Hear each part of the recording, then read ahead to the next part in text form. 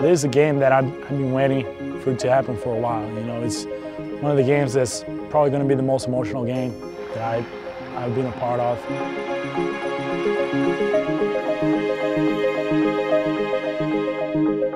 There's something unique about friendships among teammates, but what if that friend is on a different team? Sam Foltz just ran a fake punt on us for, you know, 15 to 20 yards, and, and we're just on the sidelines kind of just like celebrating. Everybody's just looking at us like, what are you doing? Like, they just got a first down. And then part of you, you got to be like, yeah, no, no, I was just, yeah, no, don't worry about it. Spot, kick, in the air, and it is good!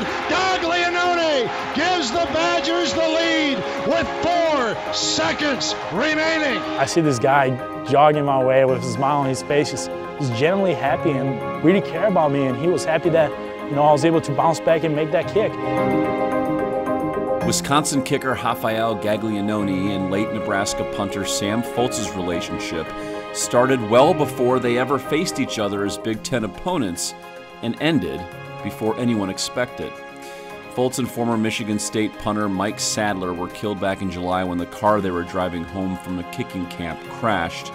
And Saturday, when Wisconsin hosts Nebraska, Gaglianone, his family, and former Badger punter Drew Meyer will join the Foltz family to celebrate Sam's life, and it will have little to do with football. It wasn't just the plays that he made on Saturdays.